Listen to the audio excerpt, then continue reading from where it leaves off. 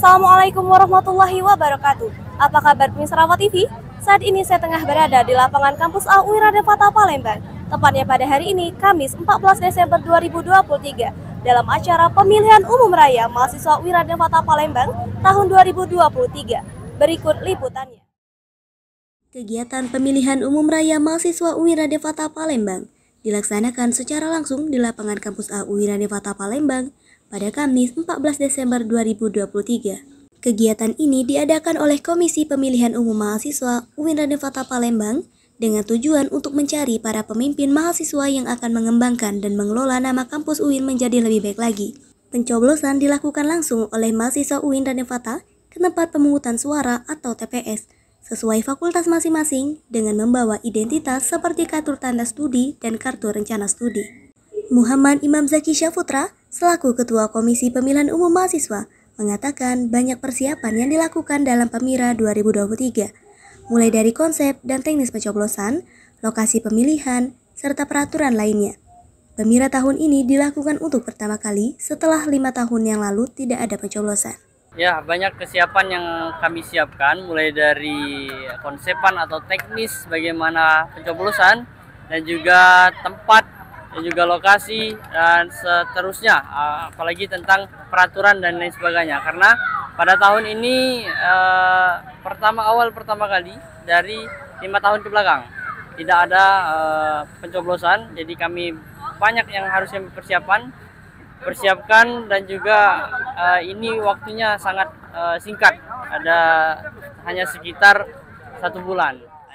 Amri Syah Putra selaku tim sukses pasangan Capresma Cawapresma nomor urut 01 mengatakan jika pasangan nomor urut 01 terpilih menjadi yang mewakili Demau, Gubernur, Bupati, HMPS dan seluruhnya, maka harapannya teman-teman UKMK bersatu dalam tim bernama Ashabul Kafi serta ingin adanya UIN perubahan. Oke, mengenai tanggapan jika uh, tim ses dari 01 dari Ashabul Kahfi terpilih menjadi uh, salah satu uh, mewakili Demau ataupun gubernur, bupati, HMPS seluruhnya, kami ini bukan harapan dari 01 saja, tapi ini seluruh harapan dari mahasiswa. Kami merembukan daripada seluruh kawan-kawan UKMK bersatu menjadi tim bernama Ashabul Kahfi. Dan di situ harapan kami ingin berubah yakni ingin win adanya win perubahan. Jadi dengan adanya win perubahan kami bisa memberikan suatu kontribusi mungkin secara kreativitas ataupun inovasi-inovasi baru, gerakan-gerakan baru yang mungkin dibangun atas asas UKMK.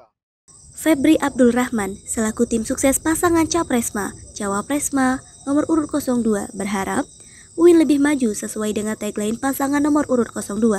UIN berkemajuan dan juga UIN keren kreativitas elegan, religius, dan nasionalis.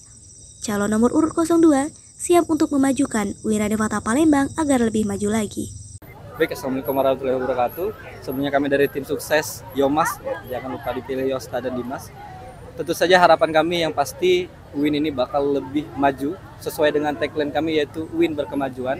Dan juga kami ada kata-kata yaitu keren, kreatif, elegan, religius, dan juga nasionalis. Nah, dan juga kami juga bahwasanya kami siap menang dan insya Allah paslon 02 bakal siap untuk memajukan UIN Raden Fatah Palembang biar lebih maju lagi. Nah, jadi menurut saya pribadi untuk pemirah di UIN Raden Fatah Palembang ini Nah, ini merupakan momen-momen yang kita tunggu. Karena apa? Karena biasanya pemilihan ini tuh tidak kita ketahui bagaimana pemilihannya atau dengan cara aklamasi. Nah, dan sekarang kita disuruh berdemokrasi atau pemilihan secara langsung. Nah, jadi untuk teman-teman sekalian itu jangan lupa kalian harus menggunakan hak suara kalian dengan semaksimal mungkin. Baiklah, saya dan mungkin mewakili dari mahasiswa lainnya berharap bahwa yang terpilih nanti bisa mengemban tanggung jawab dengan baik, melaksanakan visi dan misinya sesuai dengan apa yang telah mereka janjikan dan juga semoga uh, pemira pada hari ini bisa berjalan lancar tanpa ada kericuhan maupun keributan. Oke, harapan saya untuk pemira acara pemira hari ini agar kiranya supaya ke depannya eh, sebagai evaluasi kan uh, supaya untuk membedakan barisan per prodi jurusan dan membedakan sesama perempuan sama laki-laki agar mereka tidak.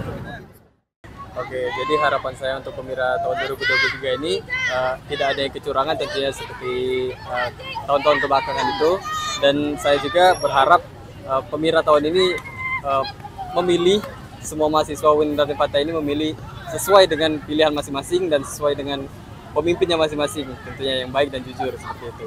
Demikianlah berita yang dapat saya sampaikan. Saya Marta Rani dan tim yang bertugas melaporkan untuk Rafa Televisi.